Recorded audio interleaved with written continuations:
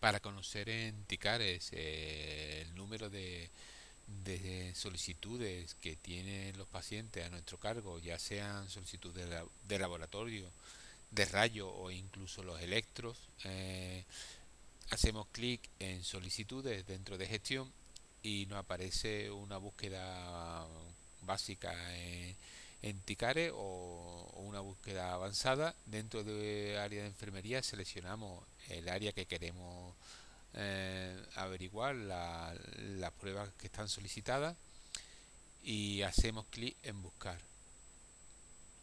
Podríamos filtrarlas un poco más haciendo clic en búsqueda avanzada y podríamos filtrarla por, por carácter si son todas o la diferida, por la muestra con número asignado o sin número asignado o el estado ya que podemos saber las que están emitidas, cursadas, no realizadas, parcialmente completas, programadas, etcétera.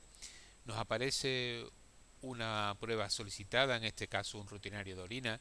En ella podemos nos muestra qué tipo de dispositivo tenemos que usar para obtener esta muestra. En este caso, como es un rutinario de orina, nos pide un tubo cónico no estéril con tapón de rosca blanco de 12 mililitros y cuando lo tengamos ya eh, la muestra en nuestro poder e identificada, lo que procederemos es a identificar la muestra haciendo clic en el botón que se encuentra en la esquina superior derecha.